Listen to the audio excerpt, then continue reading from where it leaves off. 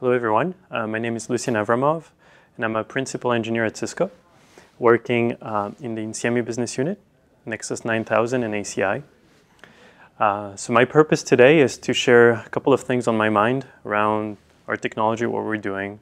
Some are um, some new topics that I'm uh, interested in looking, but most and foremost, I want to also see what you're interested in terms of getting out of the session for, for the hour, just so I can be of good use of your time.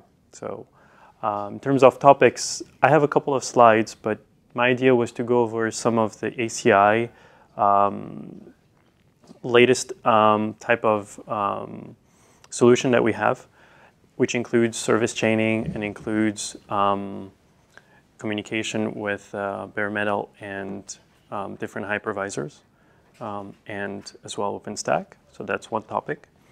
Another topic, um, I'll try to show you some of the Docker things we're doing. Um, so I'll look at showing you maybe some of the demo and tell you the concepts of how I see ACI helping or integrating with Docker, and how is that different from just being um, a virtualized uh, or a VM. Many people in the industry, when they start talking about Docker, they say, oh, you just take everything you know about VMware or virtual machines and just container is the same. I, I don't really think it's the same. Um, so I'll, hopefully um, I'll be able to get to show you a little demo uh, so I can illustrate that. And the third topic on my mind is something that I've been talking for some time, but um, I don't know if you're aware of it or not. It's group-based policy, um, and that's related to uh, OpenStack in particular. So these were kind of the three topics I picked to, to make an hour. Um, have some slide decks, and mainly what I was thinking is to show you some demos so you can get the concepts, and then we can maybe have a conversation or, um, yeah, follow with that. So. Okay. Um, all right, so I don't know if, um, yeah, turn this on. There you go. Um, I showed a demo um, yesterday at ONUG. I don't know if some of you were at the, the POC demos for overlay underlay, um, but it's something that we uh, that I built it up recently in the lab um, just for the purpose of that demo. So, and this is some of the um, this is including our, our latest software, uh, which is currently in um, in beta uh, EFT early field trial, and which is releasing in a, in a few weeks. So it's the latest ACI type of software. And here the purpose of the demo I wanted to show is basically have a um, bare metal server which is connected through a VXLAN fabric. This VXLAN fabric is BGP EVPN. So it's, in my case, it's uh, Cisco Nexus switches, which are running in NXOS mode. And um, I have three switches. I have a spine as well. So I'm just peering with, uh, with uh, BGP, and I'm doing uh, VXLAN throughout that and tunneling. So my hardware VTEP is here. And then I go VXLAN um, out to here. Here I have a default gateway. This is my L3 out. And this is an ACI fabric that I have. Surely um, it, it consists of a couple of leaves and spines. and what is interesting is this flow in red um, it's to see how the bare metal server will go inside the ACI fabric throughout a Palo Alto firewall. And then um, once we have the proper rule for that device IP, it will go to a F5 load balancer. Out of there, we'll load balance traffic across KVM, uh, where I have three OpenStack VMs, and Hyper-V, Microsoft. Could also add VMware, but in this case, I'm using KVM and Hyper-V, just to show you a multi-hypervisor environment. So really, uh, and on top of this, so I have a controller, an ACI controller over here, uh, which provisions this fabric, and it's a single point of management, obviously. On top of that, I have an OpenStack controller. I'm using Red Hat in this instance. And so from Red Hat, I can create VMs, and I can create um, network uh, definition, so I can create a new subnet. And what happens with OpenStack is on one side, it will go and create the virtual machines on the uh, Red Hat compute nodes. And in parallel, when I create new network, it will push through a driver to the controller the information about the new network. It's being created for these VMs. And that configuration will be pushed down on all the devices. So in this type of environment, um, what I'll show you is we'll, we'll get this, this, this, for example, bare metal server to just do a wget and try to reach the virtual machines here, which are web servers in this instance. And so I'll just show you how web traffic is being load balanced across. Um, and these appliances get dynamically provisioned. So in a glimpse of a few seconds, uh, we'll get these provisioned and configured from scratch through throughout API from our controller over here. And um, once they're configured, the traffic will go through. Is the OpFlex agent for OVS, is that something, where is that today in terms of open source development and whatnot? Absolutely. So actually here I'm using OpFlex, the OpFlex agent for OVS for uh, Red Hat KVM. And um, it's currently in, uh, it's currently available on GitHub. Um, and it's becoming uh, supported in terms of official Cisco support with scale, testing, and so on from this software release that's coming now.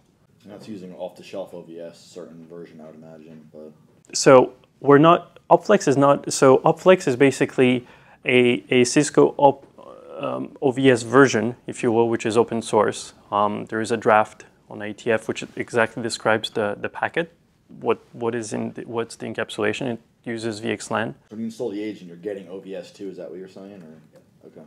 It's it's basically when, once you install that agent, that takes care of the OVS part.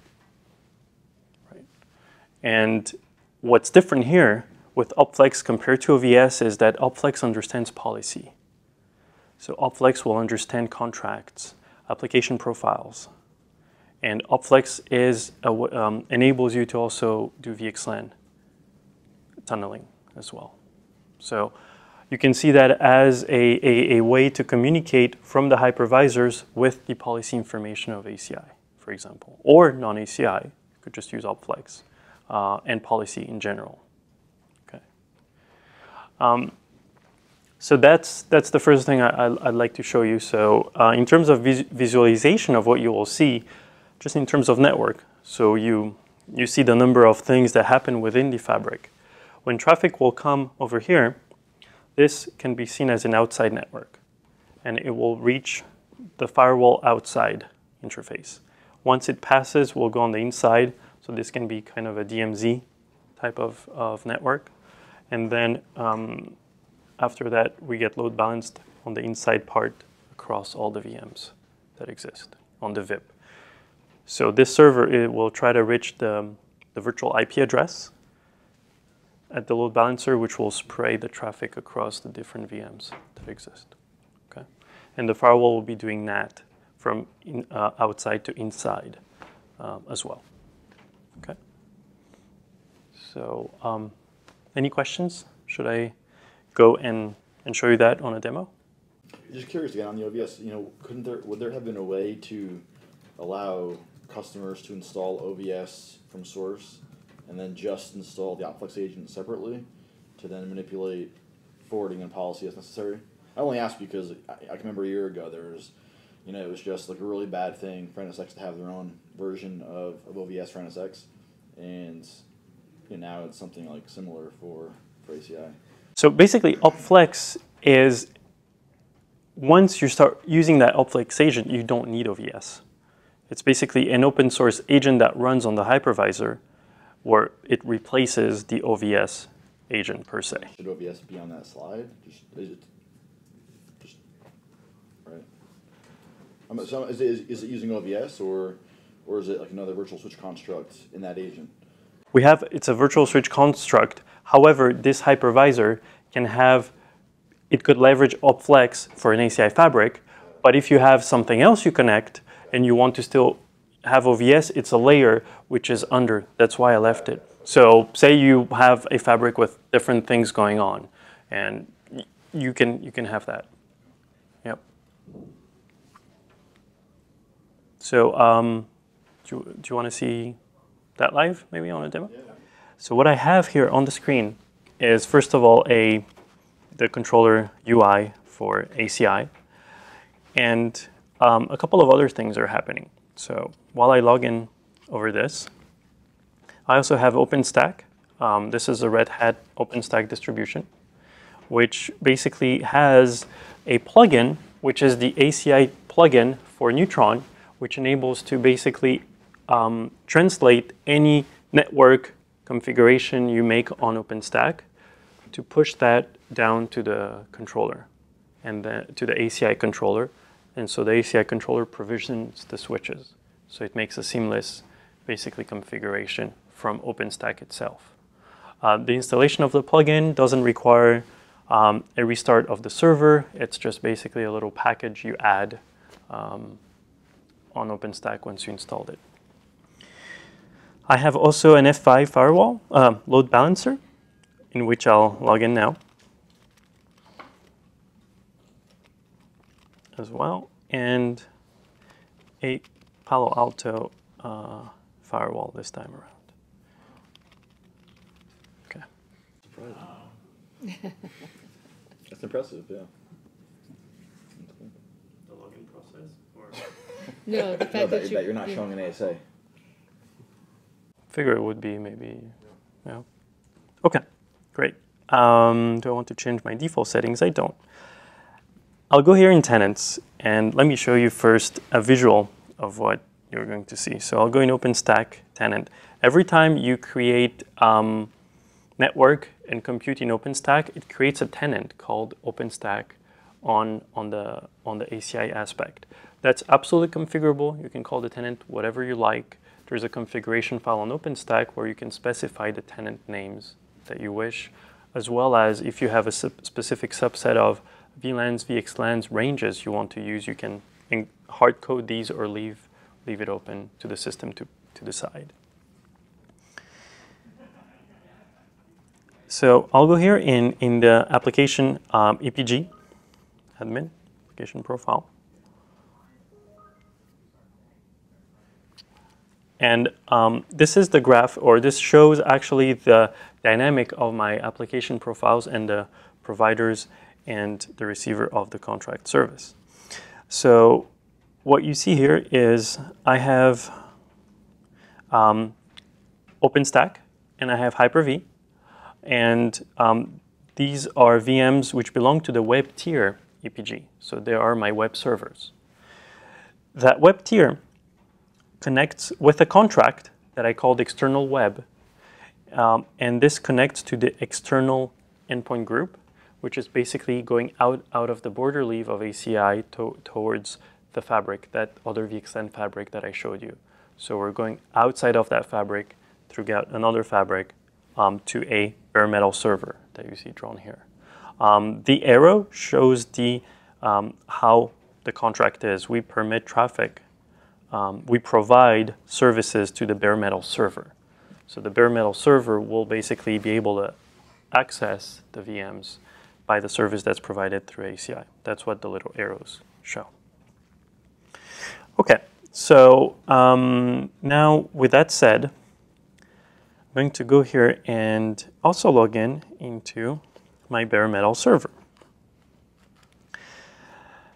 That bare metal server, I'll try to access the virtual IP, the VIP of the, of the load balancer. Obviously, I'm not going to be able to reach that network because my services are not provisioned. There is no configuration on F5 or on Palo Alto as of yet. And how do I know that? I would just go here in security policies, contracts, external web, which is this, this contract I showed you on the photo. And over here, the service graph. So the service graph will show if something is currently being applied uh, or not, and what are the options of service graphs that I can apply. Um, while uh, this loads, should be almost there. There you go. You see there is nothing currently selected. What I will show you is I will select the OpenStack Palo Alto Networks and F5 graph, which will do a service chaining between the two devices one after the other. Before I do so, I'd like to show you F5 and Palo Alto configuration so you see that there is nothing yet configured on them. So I'll go to local traffic, network map, and there is nothing in network map. And as well, what I want you to pay attention is the partition. Um, here you see the only partition that is available is called common. So this is the default partition. Um, so there is no configuration made yet. When ACI will configure, um, F5 will have a new partition created, which will be called APIC. Again, the names could be changed. It's just for the demo purpose. Virtual servers, the list of servers that we're load balancing to, there's none currently. Okay, So that's an empty state for F5. Going in Palo Alto, um, I'm clicking on network. And here what you see is I, I'm going to be using Ethernet 1 and 2 as ports. Currently, they don't have an IP address configured. And um, there is no state being up, so nothing is being provisioned yet on that device. All the interfaces are without IPs, and if I go into policy, um, I don't have any rule, for example, for NAT. I don't have anything configured to say, this is my inside-outside interface, and I'd like to use these specific subnets to NAT between them. So it's in an empty state at this point. Um, now, I can go and select here the Palo Alto F5 service graph, and I can click on, click on submit. Now, when I go here on this, it's still trying to do the wget. Um, this is my bare metal server. Um, so I clicked here. I believe I clicked submit. Yep. So now what we'll see is how this will start to get provisioned. Um, let's go in network. Okay, so um, you see now we have an IP address. Um, we have 192.168.3.100 for the outside interface and that 2.100 for the inside. So Ethernet 1 and 2 have been configured as layer 3 interfaces. Um, if I go into policies, there is now a NAT policy as well that's been configured here. And if I go into BIG-IP, um, I'll refresh by this button um, over here. And I'm going to look at partition. I now have an APIC partition, which I'll click on. And so I have a network map where now I have a pool. These are the IPs of the virtual machines that are web servers. Um, three of them are OpenStack, that two, that four, and that five, and that 201 is a Hyper-V node. And so this has been provisioned in F5. Um, soon, you'll see this uh, wget once all the configuration has been finished to provision um, across these two. We'll, we'll see this to, um, to success. Um,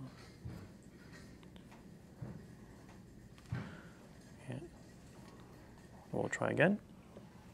And as you see, now the wget operation went through. So we basically provisioned, of course, there's a prerequisite of just configuring a service graph and knowing the IPs and this, what, how you access an F5 in a Palo Alto. But as, as soon as you click on provision service graph, it took less than a minute. It took about 30 to 45 seconds to get communication going and redirect all that traffic flow from the outside world inside an ACI fabric going from an, an, an inside, uh, an outside network DMZ to the VMs being, being uh, going across. Um, now, um, if I just go here and, for example, delete that service graph and click submit, once I remove it, communication is you can get more creative um, in terms of, of you can have different appliances, different type of service chaining for different type of use cases. Maybe you just need a load balancer, maybe you need a, uh, just a firewall, or you can daisy chain them, or maybe you, you need um, to use different type of vendors as well um, in your environment. What does that mean if you have like you know overlapping rules and, and different service graphs built out for different applications? How does that what happens before it goes to the firewall? Is there a rendering process to know if one rule can break another or something like that? Um, okay. We, we basically, cho- so What's good practice with dedicating interfaces for certain contexts and tenants and things like that?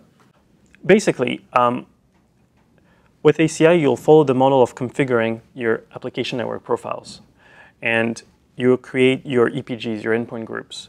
So it's you can define how you want to create them. In this case, I have web and external and, and public, and I haven't decided to choose manually the IP addressing. I just let it the system choose it. In this case, OpenStack actually decided. Um, if you have overlapping IPs or, or subnets and they're on different EPGs, we're still routing and we're using a VXLAN fabric. So it doesn't really matter what, what's being chosen by default. If you'd like to, you own the subnets that are being used and make sure there's no overlaps, you can do so. Now, if you're using different, different appliances, and they will follow the ACI model. So as long as you create into ACI the structure with the EPGs and you have routed access, then there shouldn't be a conflict in terms of the, the, um, the appliances using accessing different EPGs for inside and outside in the service graph. Um, but if your question is, does Palo Alto, will Palo Alto talk to an ASA to make sure they don't overlap? They, they, they, they, they wouldn't. They would just talk to, they would just receive an, an order of uh, being configured from ACI in terms of, okay, this on this, um, this will be your NAT rule. You will NAT for these subnet to that subnet. Um, but that information will not be, for example, pushed to another firewall to say, oh, be aware that someone else is using such. I guess it's more about you know what's good practice if you have you know X number of tenants in your ACI environment, and you have your EPGs built out per tenant, Yep. and would you want to use the same appliance across all those tenants? You, um, well, if your appliance, for example, is virtual, you have you have to you have to scale it out. So as as your your appliance will be your VM or your appliance will be able to just will have limitation in terms of how many subnets or how much throughput it can handle. Um, based on that, you have to get guide. I mean, ACI per se wouldn't know. Oh, I reached the limit of firewall. Let me create a new one. It's more even even the overlapping IPs. you you want to you want to split yeah you want to split the workload you want to have a, a, a cluster with basically multiple VMs uh, um, for example if you take Palo Alto you'll have Panorama and you have that will kind of manage the cluster of all the, um, the Palo Alto VMs uh, firewalls. And when that one will see that they're reaching out of um, scale it can um, it, it should be able to spin more type of VMs to, to share. I guess a better better analogy would be if you had like QA, test, and prod tenants and ACI, and you had you know those EPGs and each you know you know oh you know whatever it is if it's web app DMZ those EPGs in each one, you know how does that map back to the firewall policy that you'd want to use? You know is it like for an ASA a context like a virtual firewall on within the if it was a physical appliance? Or here would you recommend hey you know dedicate a virtual ASA virtual firewall per like per one that way the policy because otherwise it's overla- overlapping IP addresses like per like per object or per yeah Best practice, I wouldn't say you, you need one VM per, per EPG or per contract. It's because, like per ten, I guess per ten. no, well, it depends how many EPGs you would have in there. I would say this is more bound to really what's the scale of what the, the appliance will give you. Why would you want to have a separation of, I have, if, if like the same three EPGs and IPs exist in every tenant. Hypothetically, if your QA, if the one policy was different for prod versus like another, you know, for tests or something, and you're using the same firewall, like the policy would c- conflict. sure, and then the firewall will basically refuse the configuration and it will fail. Yeah.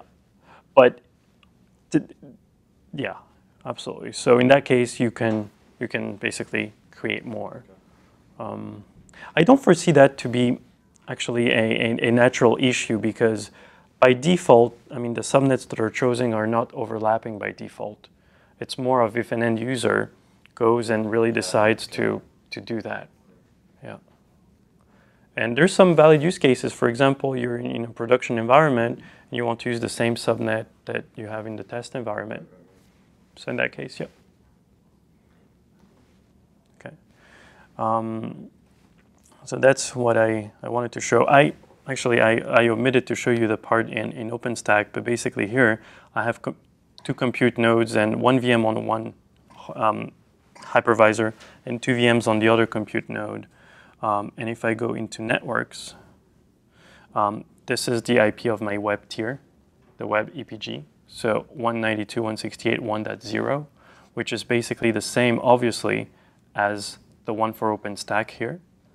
And, um, and when I created that web tier that I called here web tier, it pushed in ACI an EPG called web-tier as well. So that name here that you see comes from basically OpenStack itself. Okay. And if I go in networking and I open the bridge domain relevant to the web tier, right, admin web tier, and I look at subnets, of course, the hardware, the network, the switches will be the default gateway. It's Anycast gateway, so all the switches will answer to the same IP, 192.168.1.1. There's um, another added value um, that uh, in ACI. It's as with the technology, we have the knowledge of the overlay and underlay, um, and we correlate both informations. We have visibility into troubleshooting, which becomes really interesting. So um, you can basically, um, in, in the demo that was with the firewall and load balancer, and I was trying to do a wget, when the services were not configured, I would be dropping packets. And if I, here, this screenshot um, basically was, this is the BIG-IP F5 and the Palo Alto is on the other side of my topology. But basically, I, I, I was monitoring this leaf here, and um, basically I was monitoring traffic from the, um, the, the external world to the Palo Alto outside interface. And what I was seeing was drops. And when I had drops is when I hadn't configured the service graph. And as soon as I configured the service graph, then I had packets, sorry, going through the network. So there is a troubleshooting wizard, which basically allows you to say, I would like to know traffic between this virtual machine and that virtual machine, traffic between this virtual machine and this firewall or load balancer, or traffic for this subset of virtual machines which are, part of an endpoint group and the firewall or another endpoint group. So you can decide what you want to monitor and where you want to monitor it. And then you start the counters at the locations you'd like to monitor this. And you will have an exact correlation of what traffic, how many packets go through, how many packets are dropped, where are they dropped. Um, and furthermore, we could also think about drilling down and tell you why um, so for example, if you have a misconfiguration of a routing protocol, a difference of timer, um, and sometimes it has to say renegotiate or reestablish a session, um, it will tell you and suggest you, oh, this one switch out of all the switches has this different configuration, which is OSPF timer is blah. And the other border leaves have this. And that's so um, the troubleshooting aspect is really interesting because it gives you overlay and underlay counters correlated together. So it saves you quite some time in the operation day-to-day -day aspect of an overlay solution.